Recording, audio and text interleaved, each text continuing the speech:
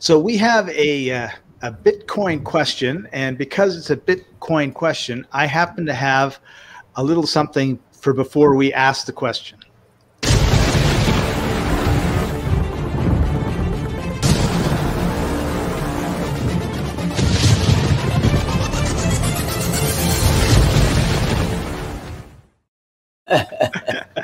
so uh, I think it's important that we talk about Bitcoin from time to time to time because when it's going through the roof, I get hundreds of LinkedIn and Facebook friends coming out of the woodwork telling me how they can make uh, you know 10% a day or an hour or I don't know what it is.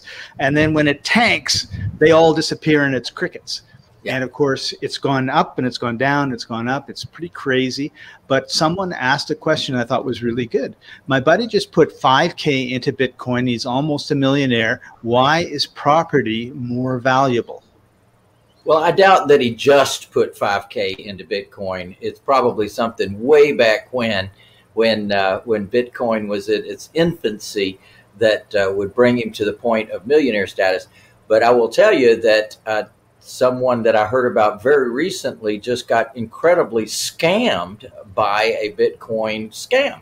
And what happened was, I mean, it was going up like you could watch it. It's right there on the screen. Isn't it true? It's right there in the computer, for goodness sake.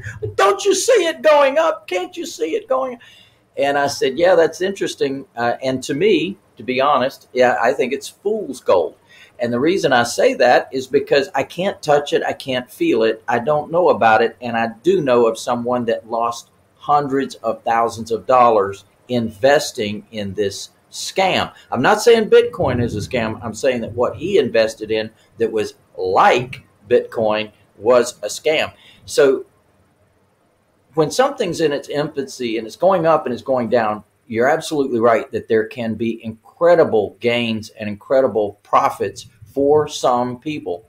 But me, I like to touch it. I like to feel it. I like to monetize it. If I can move somebody in that very quickly after I buy it and start making a monthly dividend, I'm a very happy camper. And if I do it with our business model, which I always would, that means I'm going to get some down payment money. I'm going to get a premium on the purchase of the home, excuse me, on the sale of the home. I'm going to get some benefits in doing our business model over the top of just real estate.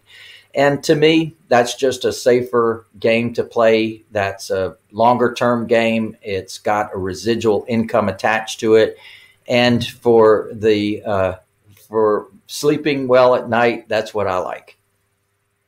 I agree. Uh, the only people I know are the people that bought Bitcoin at 20 when it went down to five and then bought it at 50 when it went down to 30. And the sad part is, is like they would have mortgaged their houses to the hilt or they would have sold all of the everything. It wasn't play money that they were playing with. And uh, I think, you know, this, it's the tortoise and the hare. And the tortoise usually uh, comes out ahead in the long run.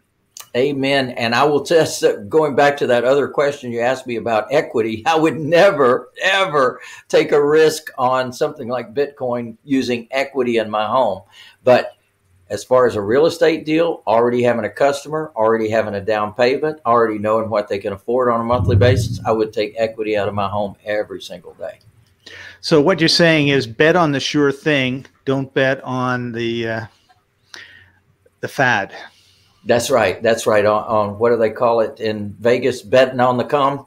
That's it might happen. It might not happen. Who knows?